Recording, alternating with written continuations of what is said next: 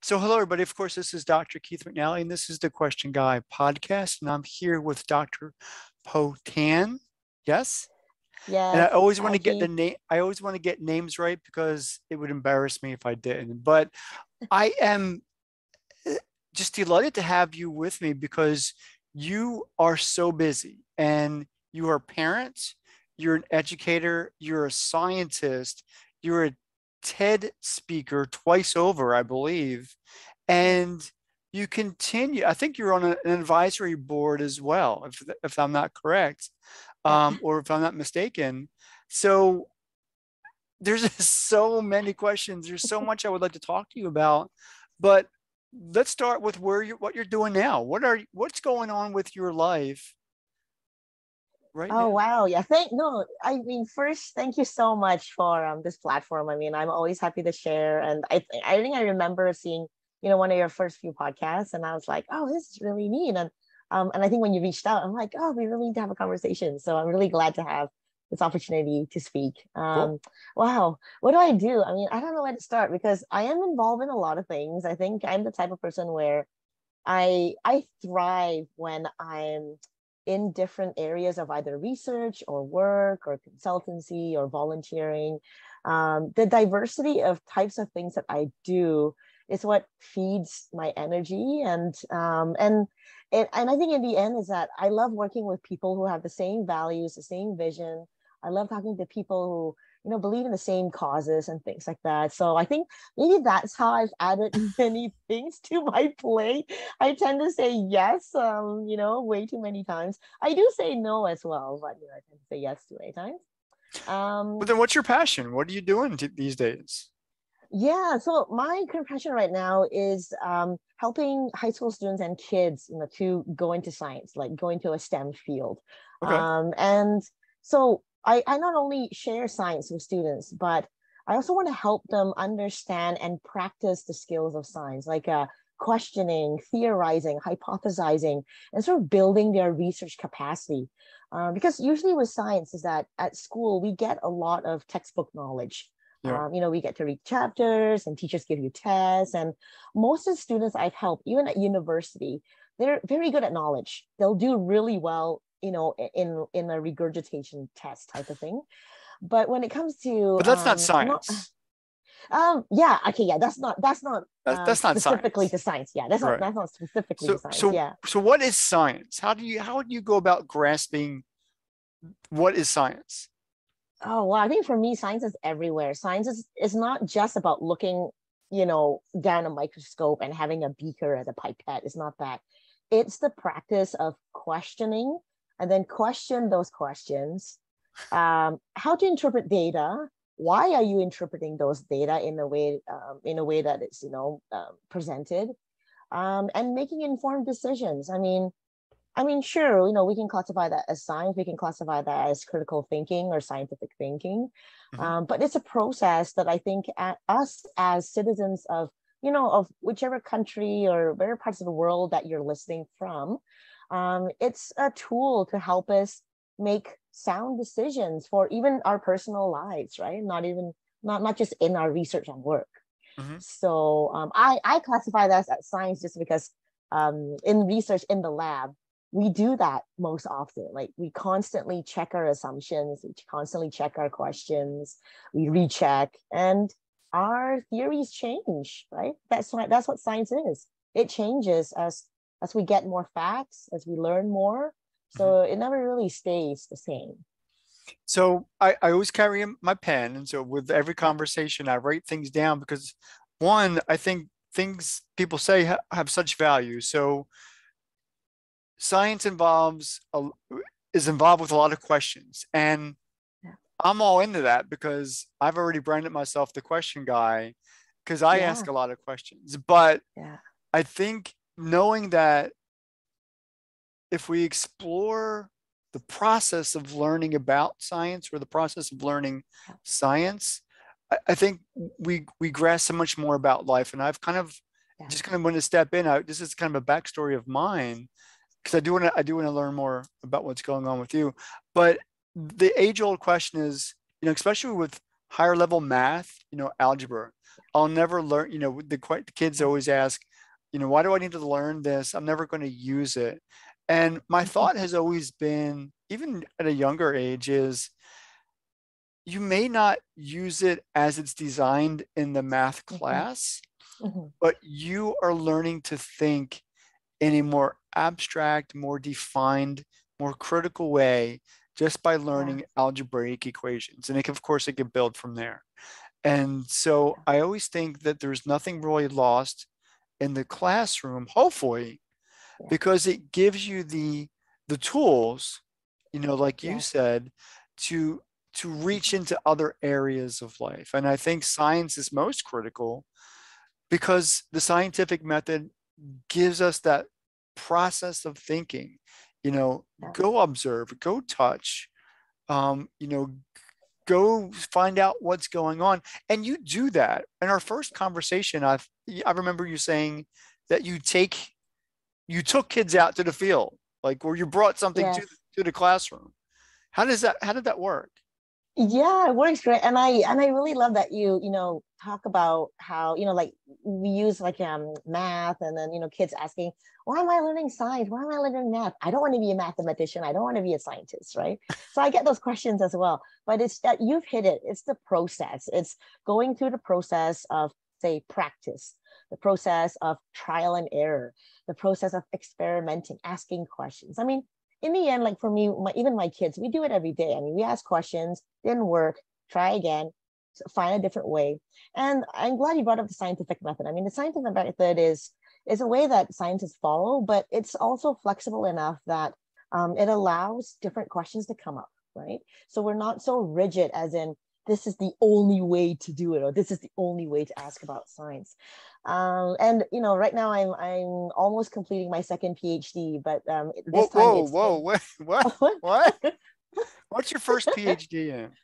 Uh, stem cell biology. So i'm a stem what? cell biologist but okay so what's your second phd in? It's in science education and scientific literacy.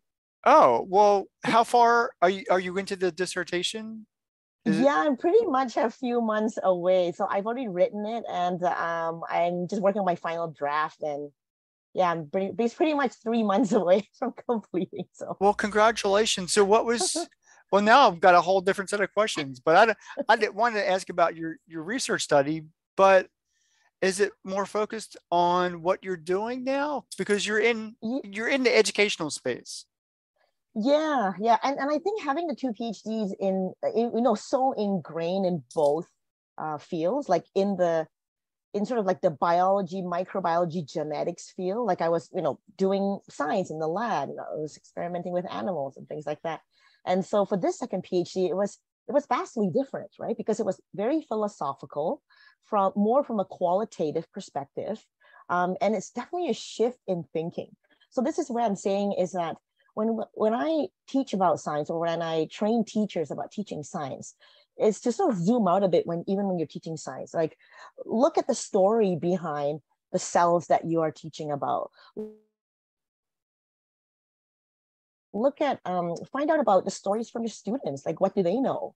Um, what are they what are they um, what do they know from their own cultural background about that particular topic in science so throughout this sort of second phd journey as i'm completing it i realized that you know taking kids out to the field as you say or bringing uh, specimens back that's sort of like the first couple of stepping stones to sort of introduce science in a way where it's more contextual so that we're not mm-hmm. just looking at things through a tunnel right? So that's sort of where my passion lies. And that's why a lot of my research, a lot of sort of what I teach in the class, both to students and to teachers, resonates with that. Um, so one example is um, a research project I'm doing two, with two nonprofits in Vancouver, Canada. So mm-hmm. one of them is with Science World. So Science World is uh, British Columbia's sort of science museum and it's like it has like a big dome sort of like building. And then the second one is the VanDusen garden or bloedel conservatory. So they're both slightly different because bloedel conservatory is, is more about plants is more about ecology and nature whereas science world is more about physical sciences biology um, there's there's i don't think there's any plants in there. I think it's more like um, the, the other the other part of science right? Okay. Um, so yeah, both of my research that are there uh, hinges and is rooted in teaching science in a way where students and teachers and little kids, even the public, I share my research with the public as well. How does that relate and how is it relevant to you? That's where the story is. And that's how you get people to care. About oh, I like that. Do. I like that angle. How, how does it, how is it relevant to you? And how do you draw that in? Because science is all around us. You know, I, have I've wrote, I've, I've written stories about um, how there's a situation here locally where I am where they're doing a lot of commercial residential building, right? Which means they're tearing about tearing down the wildlife. They're tear, yeah. tearing down the natural resources. And that really affects the ecology of our local area.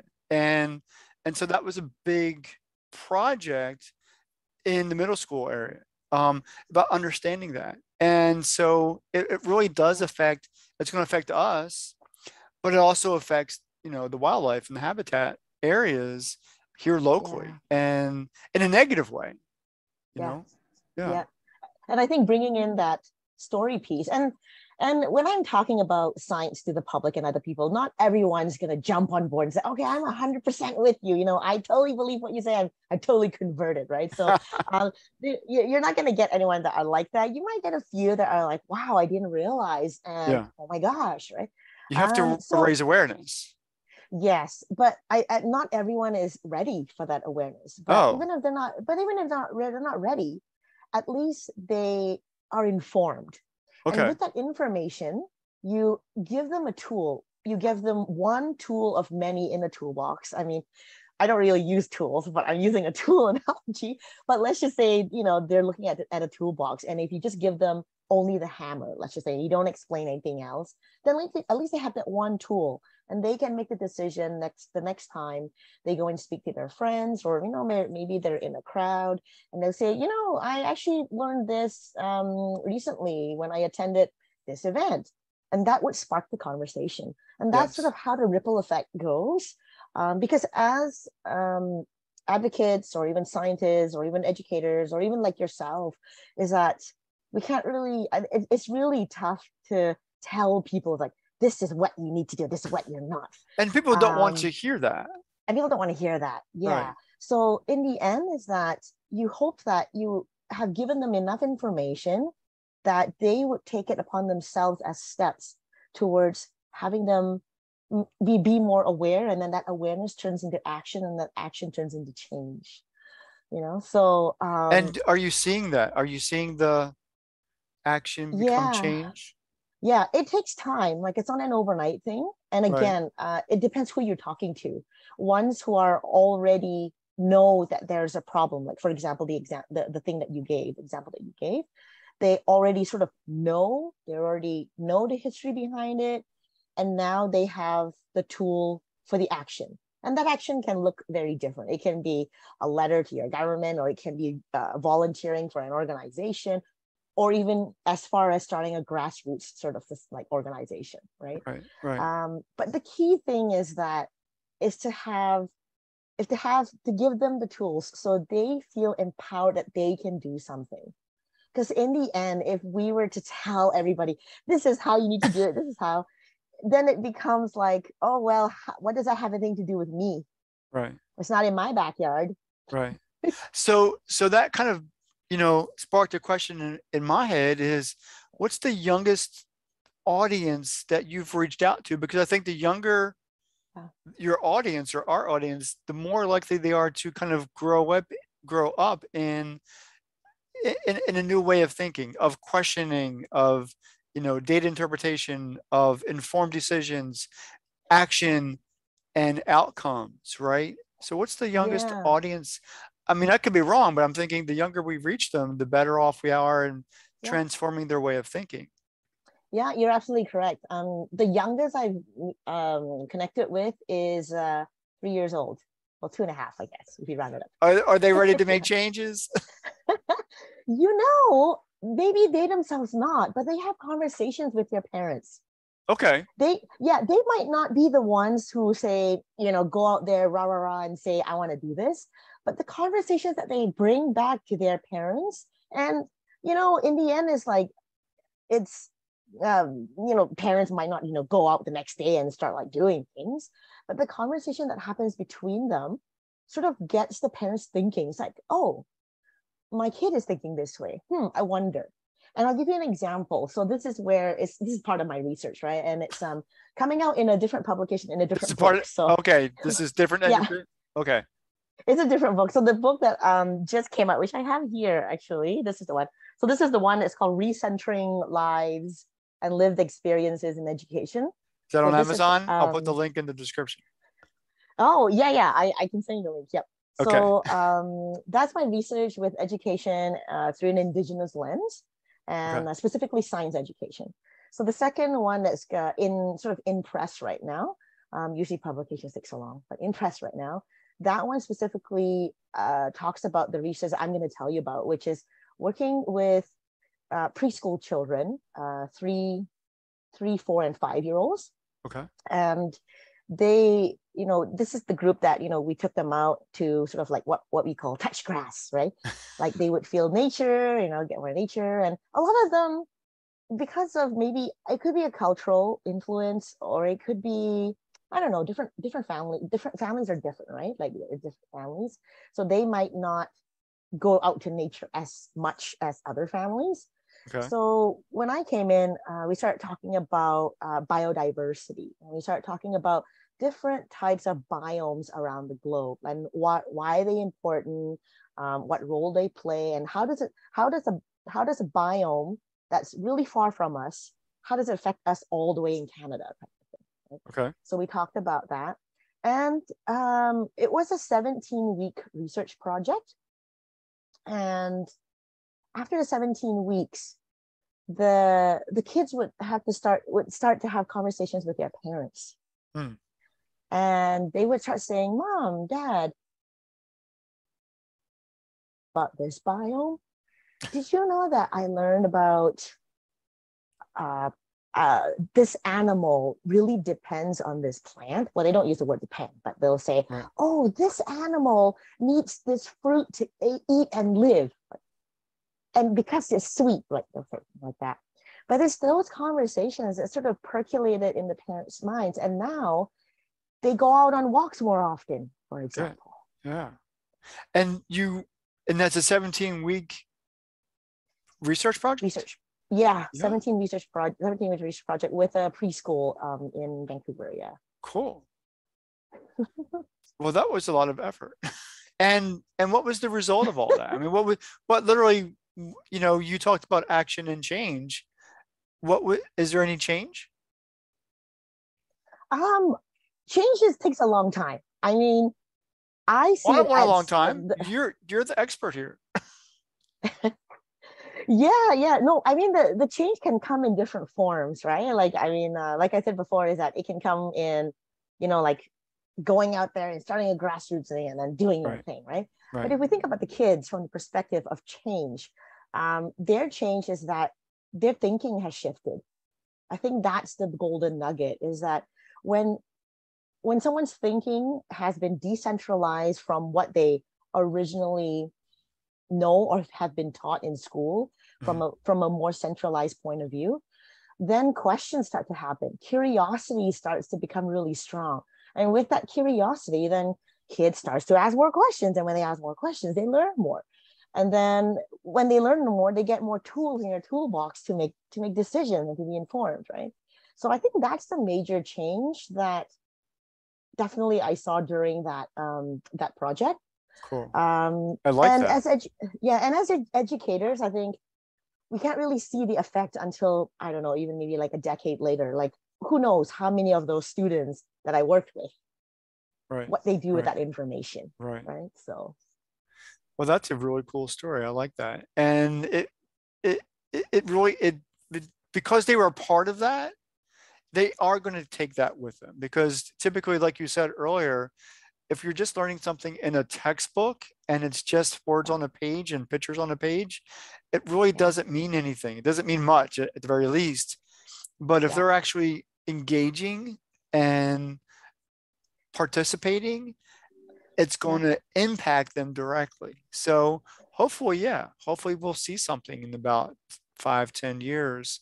Yeah. Um, and like you said, if it's just that little golden nuggets of, you know, thinking and what can I do with this information and how is it going to impact me, my family, my world, yeah. then you've done the right thing. Yeah, yeah. And the most important part of that part of research is that um, I invited all the students who wanted to share, uh, who were comfortable in sharing their story of, of, of, you know, whichever biome or places that they've been. It could be a park, it could be, it could be an urbanized sort of, you know, thing as well. But I sort of gave them the space to tell us that, you know, what, what are some of the things that you remember when you went to Bloedel, for example? Or what are some things you remember when you just took a walk around the block um, and you looked around? What did you notice? So when you sort of introduce um, and give an opportunity to even young students as young as 3 mm-hmm. and you let them speak, they feel um, that Empowered. included, and that yeah. inclusion makes the learning even more authentic. And um, some of the teachers that I taught before that this technique uh, teachers who have t- taught for a long time who's not used to this technique sometimes it may feel like uh, it's so new that they would feel a little bit that they're losing a little bit of control mm-hmm. because you know they, there's a certain lesson plan there's a certain curriculum we need to follow this right uh, but it's totally fine to deviate from the lesson plan even if you do step one of the lesson plan you don't do the rest it's sort of just to follow and allow that question to happen from the students right i mean as long as it's on on on topic it's not like talking about cartoons right, right, and stuff like right. that but um, that's where you get the learning happening so what's next for for you what what's after the dissertation after the second phd there's got to be something because you never let time just kind of sit idle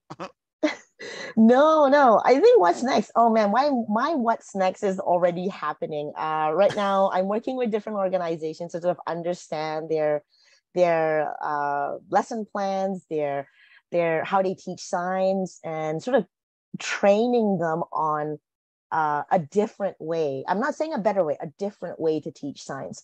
How to connect to curriculum, how to connect uh, to science in in a more relational, social way um, and also to sort of train them to understand how how to let go a little bit in your classroom. And, and I when I use the word classroom, it could be an informal group, it could be an informal teaching, but just let go a little bit and treat treat your learning and teaching session as more like a facilitation rather than I'm the teacher and I'm imparting knowledge on you, right?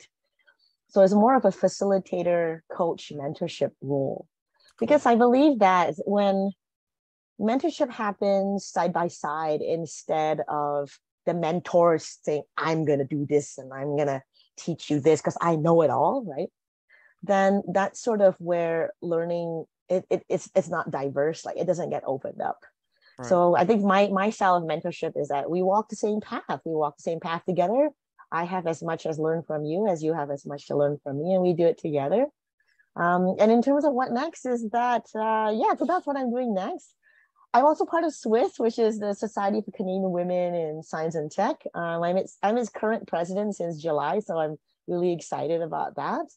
Because um, the other part of my passion is oh, so you just became yeah, in July. Okay. Yeah, I was I was a director before, and then uh, um, and then yeah, we had our AGM and uh, members and directors voted, and I'm the president. Cool. so I like cool. that. So yeah, I know you're busy and I, I don't want to take up too much of your time. How can people who watch this and listen to the podcast and listen to our conversation, how can they get in touch with you? And of course, how can they get a hold of your books? Yeah, so uh, I'm on Twitter. I'm at um, I'll I'll give you all the little links later, but I'm on Twitter. I'm on LinkedIn. Uh, I'm not on Facebook, so I'm not on Instagram either, although I'm trying to start. um, I have a website, it's called um, pohtanphd.ca. That is where it's listed all of my publications, both in the sciences and also in education. Okay. Um, so a lot of my is that your primary point of contact? Yeah, yeah, yeah, that's right. Yeah, pohtanphd.ca. Okay. Yeah. And then uh, if I think in the I think in the end, if you just Google me, I'll pop up. there's not there's not that many potans in that world. So Especially do- Yeah, not doctors, right? Yeah. yeah, I think so. Yeah, there's not that many. So um, you'll stumble upon my two TEDx talks as well. So if you Google that, um, other things is that uh, if you follow me on Twitter, I usually post um, a bit on you know like educational perspectives, um, sort of strategies of learning and teaching and things like that. Um, and then yeah, I also have co-published books with my kids um, Really? about yeah being a scientist and Cool. one of them is called one of them is called am i a scientist but it's but it's geared towards um k to grade three like kinder, right, preschool kindergarten up to grade three that's still that's great. That's awesome. Well, good for you. yeah yeah Well, I am so proud to have I'm proud to have this conversation. I'm honored. And so thank you so much, Dr. Poh Tan. I love it. And I get the name Thank- right. I should just get credit for getting the name right. I love it. no thank you so much keith and When do I uh, get to see you again? oh wow anytime you want i mean i would love to bring on my eldest son he's the one i co-authored with um couple Yeah. of books with Is he the um, one I met before? yes Yeah, he's he's full of Yeah. energy too. That would be awesome. Do you think he would be comfortable on i think so on camera? yeah yeah he's he's presented with me at academic conferences since he was five years old Oh gosh. well, you are just Yeah. raising him just the right way, aren't you? I don't know if there's a right way, but he's interested. So I'm like, okay, let's do it, you know. And Oh yeah. I, I, I usually ask him. I, I, I never say you must do this. I said I'm doing this presentation. I mean, you know. And the other time was um, I did a science fair project. He did a science fair project. I'm like, do you do you want to present it? You don't have to. He was like, oh yeah, I want to present it. Like, yeah. okay, well, he's seen you for do it, so how can it be? It can't be that hard. yeah, yeah, but I train him hard too. You know? so yeah, let's do it again. This is fun. I appreciate that. Doctor, thank you so much for your time. And for those who are watching, of course, this is the Question Guy podcast. We'll see you next time. Take care.